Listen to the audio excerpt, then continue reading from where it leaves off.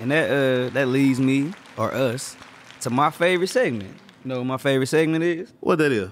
To be or not or to be. not to be. Mm-hmm. Okay, yeah.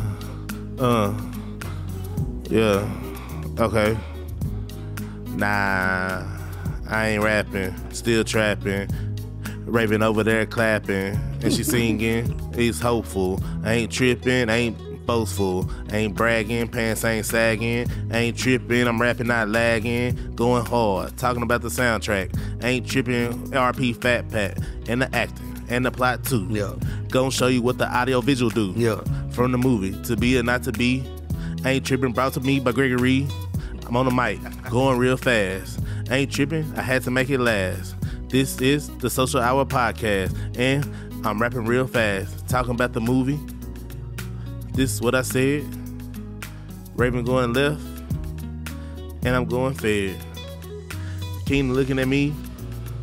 He wanna be on Tubi or not to be, but he can't. Yeah.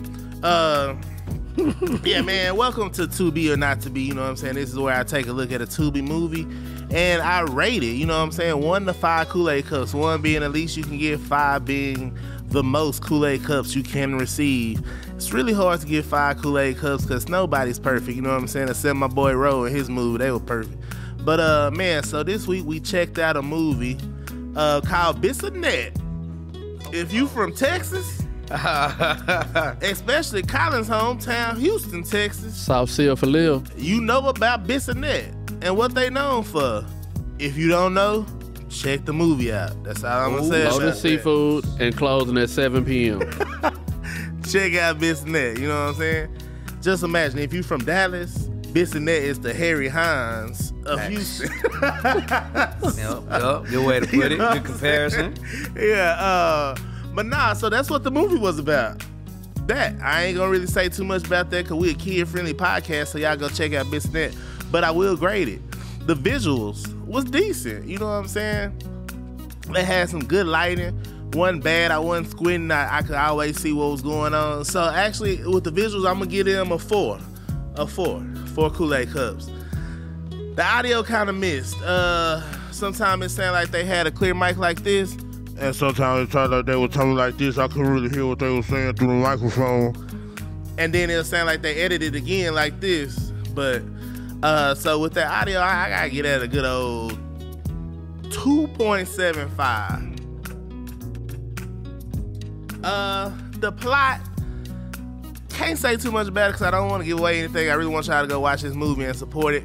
It was decent. It had some holes in it. Uh, I'm gonna get a plot of three, three Kool-Aid cups. The acting was cool. Uh, you had some superstars in it, I, and I say superstars as like they could really do this acting thing. And it's how two movies go. You got the ones who probably just called in a favor and was like, "Let me get a role in your movie." Overall, I'm gonna have to get at a 3.5 rating. Let's do a 3.5 Kool-Aid cups with that. The soundtrack was kind of forgettable. I don't remember anything they played. I think that was a big miss considering how many great artists come out of Houston, how many great artists have come out of Houston, how many are currently coming out of Houston. Uh, shout out to all them people. Uh, one of my favorites right now, uh, Mexican OT. Man, I like him. Come on the show.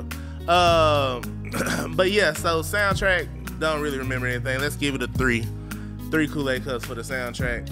Add that up, and you get 3.25 for Bissonnet. Y'all going to be check that out. Bissonnet again, based on the street in Houston, Texas. Y'all go run them streams up for them, let them get them checks, and let me know what y'all thought about it.